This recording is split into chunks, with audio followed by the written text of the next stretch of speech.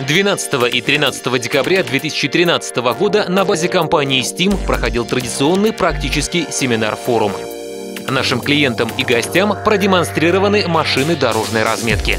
Шмель 11 Ан на базе автомобиля «Газель Next». Нанесение разметки краской. Одна сплошная, одна прерывистая в автоматическом режиме.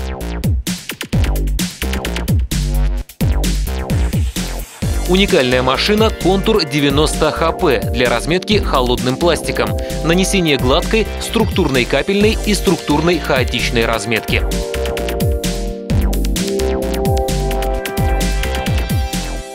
Контур 50 нанесение продольной и поперечной разметки эмалями. Вы видите нанесение двух линий в автоматическом режиме. Контур 650 ХПЭ. Уникальная технология нанесения холодным пластиком гладкой линии шириной 400 мм за один проход.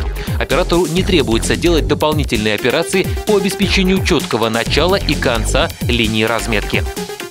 Новинка.